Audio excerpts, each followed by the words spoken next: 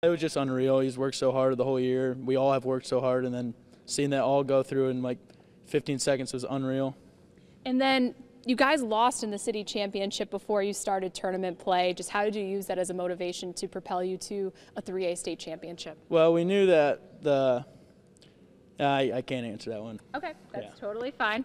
Um, but how have you guys built this hockey dynasty? You won a state championship a couple of years ago, third one now in six years. Uh, well, we've obviously had a lot of talent, and then coaching has helped a lot too. But just unnatural talent has really helped us out, and like people who we didn't know are going to be like our role players were going to stepping up, and they were stepping up, and they helped us out in the run. How's the Leo community been and just kind of the entire Northeast Indiana community? Hockey's not a the super big sport here, but I mean, thinking of Leo, Karch Bachman's from Yeah. here, and then you guys win three state championships in six seasons. How's that support been? Um, it just felt really good. Like everybody was supporting us, even kids on Carroll. Everybody in Fort Wayne was wanting us to win that game, and everybody was rooting for us. So that was a great feeling to be supported by the whole community.